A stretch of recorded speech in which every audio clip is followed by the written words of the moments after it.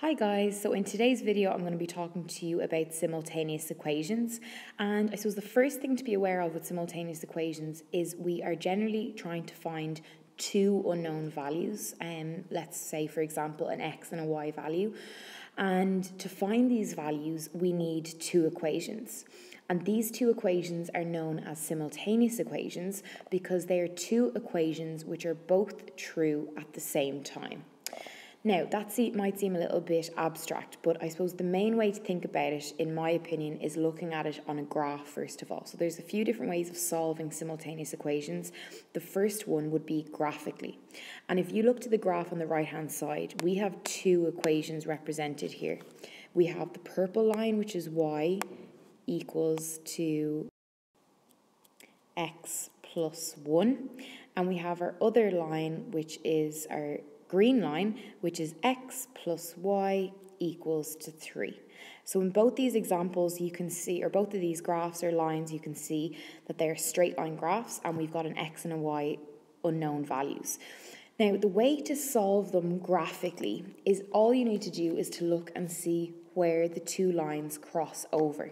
So if you look to our diagram, we can see that our two lines intersect at this point here, which I'm shading in in red, and if we look at the coordinates of that point, it's the point, so one across and two up. So it's they intersect at the point one, two. And therefore, if we think about what our coordinates represent, we know we've got an x value and a y value. So that means that x is equals to 1 and y is equals to 2. And that is the solution to those simultaneous equations, that at the point x equals to 1 and y equals to 2, these two lines are both, the x and the y value are equals to each other. So as I said already, the first way to solve simultaneous equations is to use a graph. Now, I suppose the one disadvantage with doing it graphically is it will take a little bit of time to actually draw out your x and your y axis, to plot points. So although this is a nice method, unless we already have the graphs drawn, sometimes it takes a little bit too long. So we're now going to look at a few other ways of solving these simultaneous equations. So the first method that we're going to look at is what we call the elimination method. And this one, in my opinion, is probably the easiest one. And we're going to go through a couple of examples with this. Um, and this is probably the one that you'll see you use most in class. But just remember that this is the same as graphing it and finding the points of intersection. However, we don't need a graph to be able to do it. So here's our first question. So with the elimination method, what you are trying to do is you're trying to eliminate either the x or the y. You need to look at your two lines first of all and ask yourself which one is easier to get rid of. And the way that we get rid of it is we add the columns together of the two lines. So what I mean by that is if we imagine this like we do like an addition sum, let's pretend we had something like plus 2 minus 2. And if we added those two together, it would obviously give me 0. So what we're trying to do is we're trying to get rid of either the x's or the y's by adding them together. And the way that you can get rid of the letters, if that is that if one is a plus and one is a minus, and they both have the same value in front of them. So looking at these two lines straight away, I'm thinking, well, one's a minus y and one's a plus y. So if I added those two together, they would cancel. So that's what I'm going to do. I'm going to add these two lines together. My y's are going to cancel. Then I add together my x's. So x plus 2x gives me 3x and minus 3 plus 6 gives me 3. I then need to get my x by itself, so I'm going to divide both sides by 3, so therefore x is equals to 1. Next, we need to find my y value. So I found my x value, but I still have to find my y value. So we go back and we substitute our new x value into either one of our lines. It doesn't matter which one you pick. So I'm going to go to the first one we had, which was x minus y equals to minus 3. I substitute 1 in there.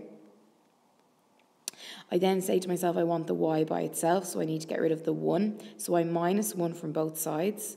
That gives me what minus y is equals to minus 4.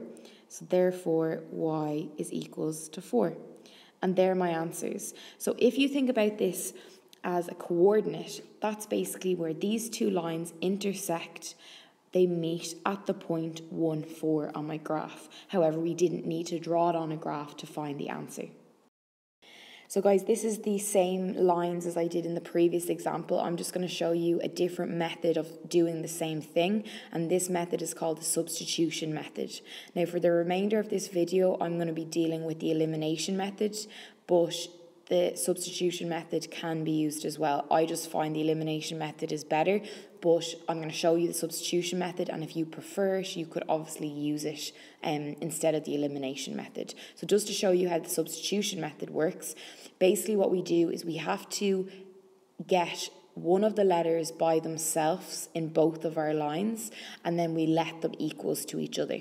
So basically we need to either pick the x or the y that we're going to select to be by itself.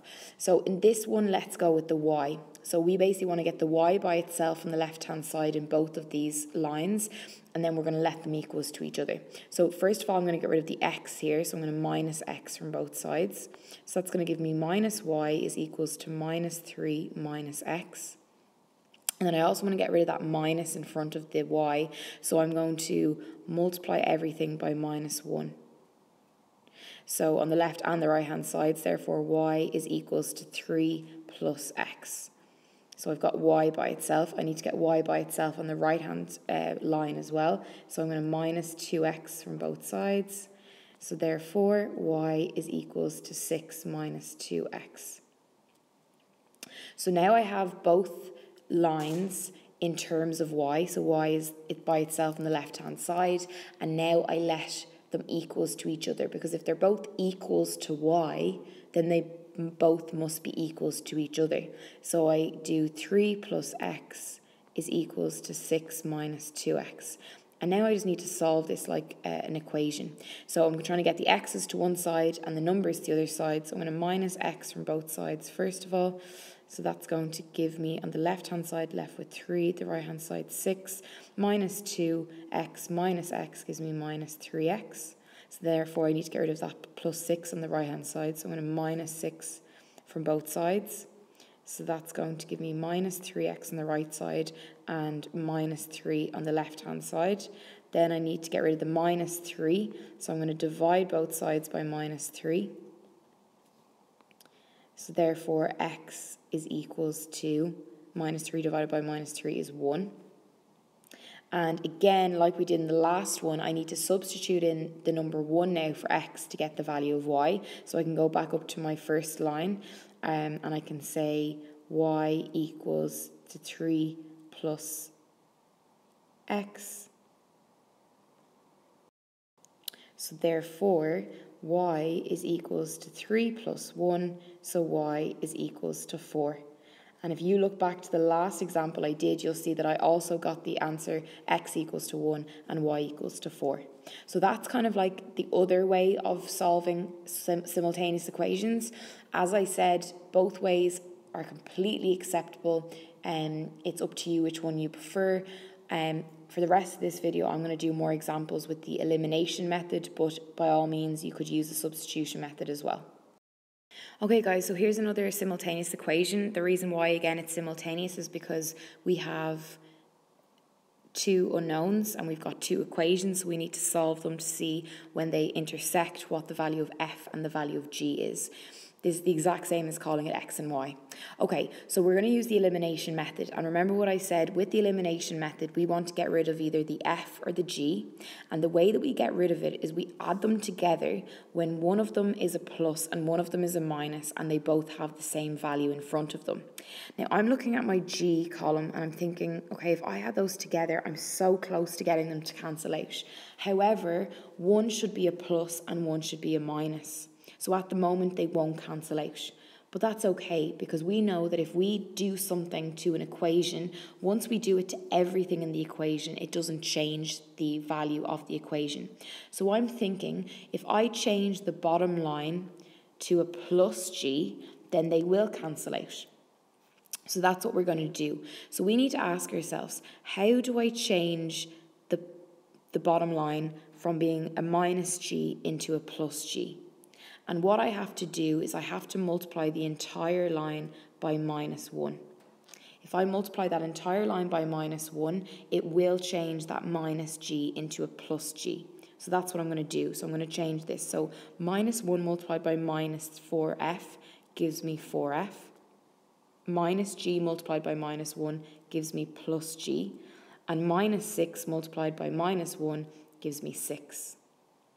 So now I'm going to rewrite out my two lines. So I've got 3f minus g equals to 15. That's my first line. And my second line, which I've just redone, is 4f plus g equals to 6. And now I'm going to eliminate my g's by adding them together because they're going to cancel and I need to add together the other two columns. So 3f plus 4f gives me 7f and 15 plus 6 gives me 21. Now I need to get f by itself, so I need to divide both sides by 7. So therefore f is equals to 3. So now I have my value of f. I now need to go and get my value of g. So I know that if f is, g, is equals to 3, I just substitute that in. I can pick either one of my lines. I'm going to go with the first one. So 3f minus g equals to 15. So therefore it's going to be 3 bracket 3 minus g is equals to 15. 3 times 3 gives me 9. So I'm trying to get g by itself, so I'm going to minus 9 from both sides. So therefore minus g is equals to 6. So therefore g is equals to minus 6. Okay guys, so I'd like you to have a go at doing this one now. Um, I'm going to solve this in a minute using the elimination method, so that's probably the best one to practice at this point. So if you pause the video, have a go at doing the question and then play the video to see how you got on.